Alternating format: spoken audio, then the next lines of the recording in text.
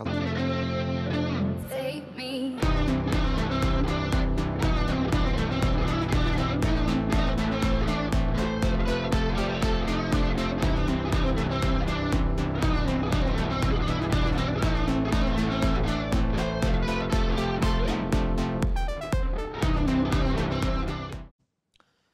Salve a tutti e benvenuti ad un nuovo appuntamento con Tutto Rugby sui canali social di Per Sempre News, l'informazione sulla palla ovale.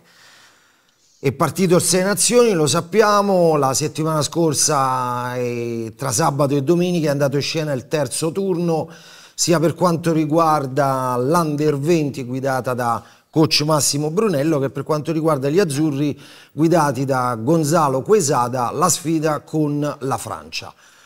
Come sempre ne parliamo con il nostro amico, il rugbista, il mediano di Mischia, il nazionale, il coach del Benevento Rugby, Annibale Fusco, il nostro amico Chicco Fusco. Ciao Chicco, come stai innanzitutto? Ciao Massimo, buonasera.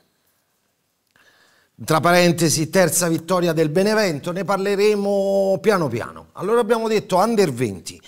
L'Under 20 batte la Francia 20 a 23.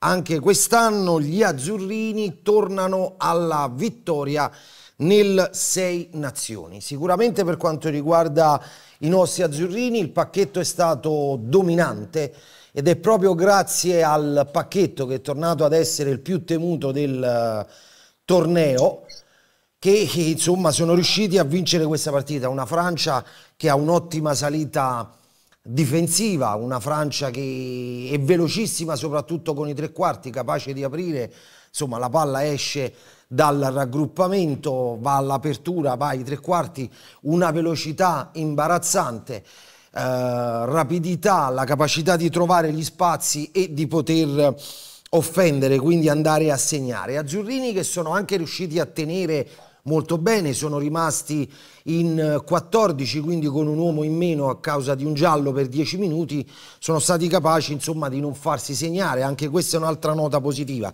C'è da rivedere ovviamente un po' la touch, ma mh, mm, diciamo che nel complesso è stata un'ottima, un'ottima prestazione, quindi 20 a 23 per quanto riguarda gli azzurrini. L'avevamo già detto nella scorsa puntata, questa era la settimana scorsa è stata la settimana della, della, della Francia. Francia al Sei Nazioni. E gli azzurri mh, mm, pareggiano, pareggiano a Lille in casa della Francia 13 a 13. Comunque un uh, risultato storico. Per adesso 50 match giocati con la Francia, abbiamo nel nostro palmarès 3 vittorie, in effetti sarebbero 4 ma una viene da un test match, quindi non da un match ufficiale, quindi non, uh, non, fa numero in questo caso, ed è proprio quella del 99, quando battemmo la Francia, ci giocavamo l'accesso al uh, Sei Nazioni e quindi siamo entrati vincendo al Sei Nazioni. Una, una, Francia che ha una mischia dominante, insomma solo con noi mh, la Francia risulta avere la mischia più pesante di tutte, soltanto il pilone destro, credo che sia il destro, il 3, pesa più di 140 kg, comunque con noi erano 95 per l'esattezza, quasi 100 kg in più, eppure Ital Rugby ha tenuto per quanto è stato possibile, insomma, te dimostra che la disciplina, insomma, tranne il minimo indispensabile quando sto, sto a difendere, insomma, non è che poi sia stata così eclatante. Una Francia che parte subito, insomma, all'inizio va subito a meta, prima si guadagna un calcio di punizione, poi vai a meta. Il primo tempo si stava quasi per chiudere sul 10-0 per la Francia, poi abbiamo noi un calcio di punizione, lo mettiamo dentro, quindi si chiude sul 13 eh, a 3. Poi la Francia rimane in 14, prende un cartellino rosso, eh, placcaggio alto, secondo l'arbitro il grado di pericolosità è elevato, da giallo in un primo momento era stato dato, il giallo viene girato in rosso. Una Francia che rimane in 14, una Francia però che ha... Gli azzurri ci hanno messo mezz'ora quasi per andare a segnare. Una Francia nonostante in 14 quasi non, è stata bravissima a difendersi nei punti chiave, insomma, e a bloccare l'Italia. Pareggio, pareggio io dico meritato, Chicco, tu che dici?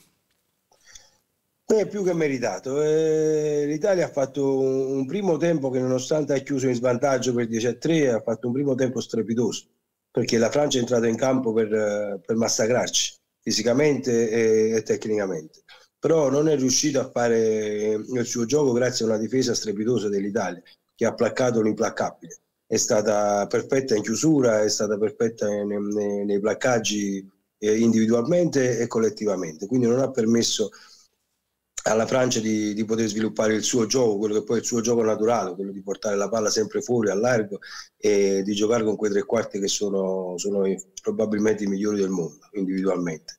Eh, dopodiché voglio, siamo stati bravi e fortunati nel senso che eh, quel placcaggio alto che probabilmente fino a qualche anno fa era un placcaggio probabilmente normale, ma adesso insomma l'espulsione con i nuovi regolamenti è sacrosanta. Quindi è stato un, un loro errore che gli ha, gli ha, comunque condizionato la partita, perché giocare in 14 a quei livelli insomma è sempre, è certo. sempre difficoltoso. Eh, niente, l'Italia giocato, ci ha creduto fino alla fine, eh, ci ha creduto fino alla fine e i ragazzi sono stati bravissimi. Io penso che sia stato l'Amaro a fare un numero impressionante di placcaggio. Adesso non ricordo le statistiche, ma più, ha fatto più di 30 L'Amaro placcaggi. Sicuramente è stato quello che ha placcato di più. Sicuramente. Di più è stato messo addirittura nella formazione del Sei Nazioni della settimana, insieme ad altri due persone, tre quarti, se non sbaglio. Assieme eh, a Menoncello, Capozzo, che è stato e... player of the match, e lo scudetto esatto. napoletano Engi Capozzo. Esattamente, quindi voglio dire, niente, io no, non mi aspettavo una reazione di questo tipo da parte dell'Italia. Vero è che la Francia in un periodo di assestamento, ovviamente con la dipartita di Dupont che, che, che per quest'anno ha rinunciato a sei nazioni, la Francia ha perso tantissimo. Però ehm, la Francia è una squadra che, che, non si rifà soltanto ai singoli giocatori, è un, è un collettivo eccezionale, strepitoso e, e quindi anche la mancanza, eh, in questo caso di Dupont, eh, dà, dà, ovviamente dei, eh, dei, connotati alla Francia diversi rispetto a quando gioca lui. Tuttavia, io questi tipi di squadre non soffrono la mancanza di un singolo giocatore, quindi per me bisogna fare i complimenti all'Italia per come ha giocato. E, niente, la Francia viene da un campionato di queste nazioni un poco strano, dove ha vinto con una meta allo scadere eh, non concessa alla Scozia la settimana prima, sì. eh, ha preso più di 30, 38 punti dall'Irlanda. Però insomma questi sono affari, affari francesi che a noi non riguardano. Quello che riguarda noi è che l'Italia è riuscita a pareggiare e avrebbe anche potuto vincere se, se non fosse stato sfortunato il povero, il povero Garbetti eh, che nel momento in cui stava piazzando gli è caduta la palla da terra, quindi ha dovuto affrettare tutte le situazioni per poter, eh, per poter calciare. Ha preso il palo, ancora più sfortunato. Quindi niente, dobbiamo dire solamente grazie a questi ragazzi della, della, bella partita che hanno fatto e delle sensazioni che ci hanno fatto vivere in televisione o allo stadio. Siamo sulla strada buona, ecco, prima o poi ci toglieremo qualche soddisfazione, eh, sicuramente con qualche squadra forte cadrà, prima o poi, stiamo costruendo. Inserendo Favretto nella, nella lista, insomma, abbiamo portato un Avevamo anche noi tre saltatori in touch. Si è visto qualche miglioramento, ma sulla touch c'è ancora molto da lavorare. Sì, c'è molto da lavorare, ma questo, questo campo era una fossa dei leoni domenica, eh, eh sabato scorso, domenica scorsa, esattamente. Per stare in campo con, quei, con quasi 60.000 spettatori, con una Francia indemoniata, perché comunque loro hanno dato il 100%, non era assolutamente semplice eh, giocare, era veramente una... Oh, un'arena, un'arena dove i nostri erano gli agnelli sacrificati. E, tuttavia ci sono degli errori ovviamente, però la vittoria va sempre rispettata. Io, ma che in qualsiasi modo avviene, vitt- per noi il pareggio è quasi assimilabile alla vittoria, voglio dire. Eh, in qualsiasi modo viene, eh, bisogna sempre onorare questa, questo tipi di, questi tipi di vittorie perché poi sono quelle che ci che ci fanno acquistare anche più eh, da, da, da, parte della stampa internazionale o delle altre federazioni, delle altre squadre, certo. un certo rispetto. Eh, quindi anche la Scozia verrà a Roma la, la, prossima settimana, tra due settimane, verrà ben preparata ed è, ed è un'ottima squadra, forse molto meglio anche della Francia in questo momento e, e quindi bisogna stare concentrati e ancora di più se possibile perché faranno di tutto per potersi venire a vincere a Roma. Questo è poco ma è sicuro. Ho visto una copertura maggiore anche per quanto il discorso che facevamo nella scorsa puntata per quanto riguarda il mediano. Visto che spesso l'Amaro, comunque insomma le seconde e le terze cercavano di creare un po' di copertura per quanto possibile far lavorare meglio la mediana, però ho visto forse ancora un po' di lentezza per quanto riguarda il reparto mediano. Sì, però c'era una pressione grandissima e era molto difficoltoso giocare 9 e 10 con quella pressione asfissiante da parte delle terze linee, da parte dei tre quarti avversari, non è, a parte che non è semplice mai, però in questi casi è ancora più difficile perché loro veramente hanno giocato una partita di altissimo livello, parlo dei francesi e quindi resistere, resistere a, quegli, a, quei tipi di, a quel tipo di pressione è, è, veramente molto difficoltoso. Io, per me, sia Pagerello che, che Vanni quando sono entrati hanno fatto il loro dovere assolutamente, anzi molto meglio delle altre volte, se mi concedi, perché sì, sì. io quel, quel, clima che c'era in campo uh, non, era, non, era, non, era, un clima semplice da, da, da poter gestire e, e, lì la prima linea e le terze linee le seconde linee hanno fatto un lavoro eccezionale concedendo il minimo indispensabile il, più poco possibile proprio alle, alla, alla, difesa francese. Sono stati veramente per me eccezionali. Qualcuno ha ipotizzato uh, noi nella mezz'ora del secondo tempo in cui poi siamo andati noi a meta insomma uh, ci siamo presi anche un calcio di, di, di, di punizione. Però voglio dire ci sta quando difendi è chiaro che è facile incappare nell'errore. Poi con quella, con quella squadra però qualcuno ha detto forse gli azzurri avrebbero dovuto ingranare un po' più la marcia insomma provare ad assegnare prima per avere poi più tempo per tu che ne pensi? Sì, sì, io ti ripeto, io ho visto, io non ho visto una brutta Francia, io ho visto una grande Italia. Assolutamente. Ovviamente la, la stampa francese ha distrutto la propria squadra eh, perché contro l'Italia non vuole perdere nessuno, non vuole pareggiare nessuno. Perché perdere con l'Italia eh, per loro, eh, certo. le sei nazioni, è una mortificazione. Certo. Eh, quindi la squadra francese è stata mortificata sotto tutti i punti di vista. Addirittura eh, dicono di non dover più convocare il ragazzo del centro che è stato squalificato col cartellino rosso, cambieranno, hanno criticato tantissimo Lucur, Mediano di Mischia, le, hanno fatto delle pagelle che non superano il 4,5. Io sinceramente ho visto un'ottima prestazione della Francia e che l'Italia ha dato il 100%. E quindi io riconoscerei sicuramente i meriti dell'Italia, anziché dei meriti, in questo caso dei meriti della Francia, perché molto spesso quando l'Italia riesce a vincere quando le altre squadre sono, sono un attimo di defiance, un attimo in calo, di concentrazione fisico, tecnico, tattico. Invece per me la Francia ha fatto una partita eccezionale, è l'Italia che ha saputo gestire bene quel tipo di pressione. Ultima domanda così andiamo avanti con, con, la puntata. Allora, in effetti l'abbiamo già detto, tra mm, la prossima settimana ci sarà il quarto turno, quindi con la Scozia. L'Under 20 giocherà prima del, il giorno prima dell'Italia dal Monico di Treviso e la seconda e ultima sfida qui in Italia da Treviso per uh, i ragazzi ve lo ricordo e gli azzurri giocheranno Italia-Scozia di Roma il 9 di marzo. Contro la Scozia dobbiamo temere di più il pacchetto. I tre quarti o comunque insomma è una partita o entrambi? Guarda la Scozia per me è una squadra molto completa. Ha una linea di tre quarti eccezionale cominciando dall'estremo Kinghorn che, che, è un fenomeno, l'apertura Russell che è uno dei migliori al mondo. C'ha due centri, Tuveloto e l'altro che sono due, due colonne di ferro. Van der Meden all'ale che ha segnato tre metri contro l'Inghilterra ma è, è un gigante. C'hanno altri due ali eh, dall'altro lato che adesso non ricordo i nomi che sono dei funamboli, sono velocissimi a passare. Davanti sono, sono completi. Secondo me la Scozia è una delle migliori squadre di queste sei nazioni insieme all'Irlanda.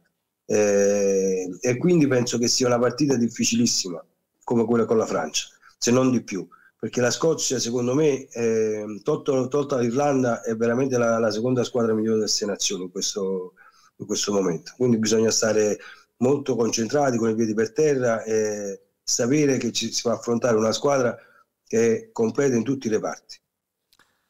Ok, allora eh, per chiudere il discorso player of the match, l'abbiamo già detto, l'hai detto tu, eh, Tommaso Menoncello per quanto riguarda gli azzurri è stato player of the match, per quanto riguarda l'Under 20 il nostro pilone Gallorini è stato lui il player of the match. Abbiamo un altro risultato che tu saprai benissimo, World Rugby ha rifatto i calcoli di quella che è la classifica del ranking. L'Italia grazie al pareggio con la Francia ritorna al decimo posto nella classifica del ranking mondiale. L'ultima volta, 11 anni fa, il miglior risultato di sempre. Dobbiamo tornare indietro di 11 anni, quando la nostra nazionale era gestita dal francese Brunel. Quindi altra eh, notizia importante, ci siamo messi dietro la, mm, le Figi, il Giappone, la Georgia e il Samoa. Beh, vero è, questo è un passo importante, anche se è vero che in questo momento le nazionali dell'altro emisfero, dell'emisfero sud, non stanno giocando, quindi non, non possono fare risultati e bisogna aspettare qualche mese per avere la, la, giusta classifica, quando cominceranno a giocare anche dall'altro lato del mondo. Però voglio dire, al momento siamo nei primi dieci, ci sta bene, siamo contenti. Assolutamente, è il miglior risultato di sempre per ora. Uh, il ranking in questo momento ci dice che il Sudafrica è in testa, uh, seguito dall'Irlanda, la differenza è poco più di un punto. Al terzo posto in questo momento ci sono gli All Blacks, la Nuova Zelanda. Sei nazioni anche femminile, Guinness Women's Six Nations. Le azzurre di coach Giovanni Raineri, Nanni Raineri si sta preparando anche lui al uh, Sei Nazioni che partirà per le azzurre il 24 di marzo. La prossima settimana, esattamente dal 7 al 10, Nanni Raineri ha già ufficializzato quella che è la lista, quindi ha convocato le atlete al raduno di Parma, proprio in um, comincia, comincia, termina quella che è la preparazione per il suo Sei Nazioni. Vi ricordo che anche le azzurre avranno il primo match, il debutto con l'Inghilterra, così come per l'Under 20 e, ed è stato per gli azzurri, cominciano il 24 di marzo, il secondo match e ultimo match in Italia per quest'anno degli azzurri sarà sempre contro la Scozia, le azzurre giocano all'Anfranchi di Parma il 20 di aprile e chiuderanno il loro Sei Nazioni le azzurre il 27 di aprile a Cardiff contro il Galles. Restando sempre in tema di sei nazioni, vi ricordo il Six Nations Festival Under 18 sia maschile che femminile. La maschile la settimana scorsa, proprio in preparazione al festival, ha avuto un um, match con la Francia. Purtroppo gli azzurrini sono stati battuti qui allo Zaffanella di Viadana, quindi in Italia, 7 a 36. Anche in quel caso una mischia dominante, tanta tanta velocità da parte dei, mh, mm, dei francesi, si sono impostati il match eh, praticamente come hanno voluto, i ragazzi la, sono arrivati a segno praticamente all'ottantesimo allo scadere, ma comunque abbiamo portato sette punti a casa. Per quanto riguarda il Six Nations Festival, giocherà, la maschile lo giocherà qui a Parma dal 30 marzo al 7 di aprile, mentre la femminile lo giocherà in Galles dal 29 di marzo al 6 di aprile. Ultima notizia per quanto riguarda il Sei Nazioni, già dalla scorsa settimana per quanto riguarda il uh, Sei Nazioni femminile, la federazione ha reso noto che è già possibile prenotare online i biglietti per vedere i due match interni delle nostre azzurre, quindi vi ricordo con l'Inghilterra il 24 di marzo e con la uh, Scozia il 20 di aprile. Ovviamente c'era la nazionale, quindi nelle nostre franchigie Zebre Parma e Benetton Rugby hanno osservato la, mm, la pausa, non hanno giocato. Vi ricordo che la Benetton nello United Rugby Championship uh, è nelle prime posizioni in classifica, quindi deve difendere questa posizione e eh, entrambe le zebre rugby e la Benetton uh, rugby sono in, uh, agli ottavi della Challenge Cup. I match della Challenge Cup ripartiranno il primo weekend di aprile. Uh, Benetton e Zebre, vi ricordo, è possibile seguirli sulla piattaforma Sky, quindi sui canali Sky Sport. Non è andata in scena nemmeno la Serie A Elite maschile, quindi il massimo campionato nazionale eh, maschile che riprenderà questa settimana con, come sempre con gli anticipi del sabato e i posticipi della domenica. Ha giocato però la femminile.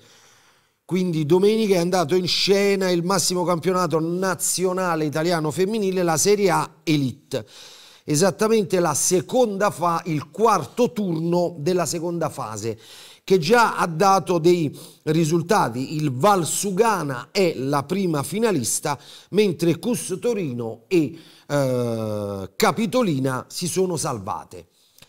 Valsugana Cus Milano è finita 33 a 0, Colorno Villorba 10 a 21, Treviso Capitolina 12 a 14, Cus Torino batte il Calvisano 38 a 15. Per quanto riguarda la classifica, nel girone playoff Valsugana in testa con 20 punti, seguito dal Villorba a 13, Cus Milano a 5 punti, chiude la classifica playoff del girone playoff il Colorno con un punto.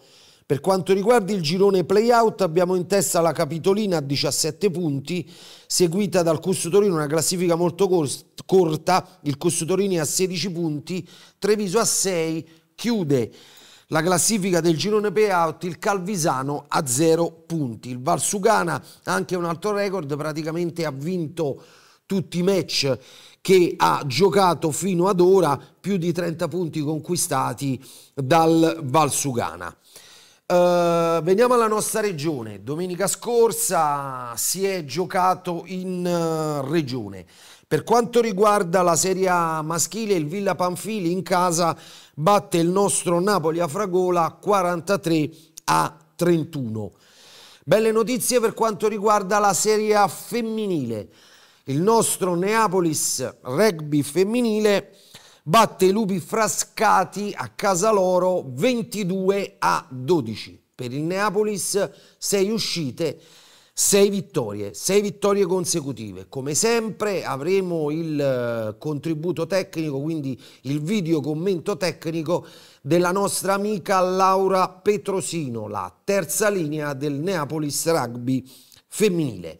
Ciao Max, Uh, parto col dire che questa partita uh, risultava essere molto importante per noi, um, al di là uh, della, della, mera vittoria, della mera classifica. Um, questo, questa vittoria um, era importante dal punto di vista mentale, o innanzitutto per dimostrare a noi stesse che il lavoro che stiamo facendo sta andando avanti e ci sta portando sempre più vicine al biglietto per le, le semifinali a maggio.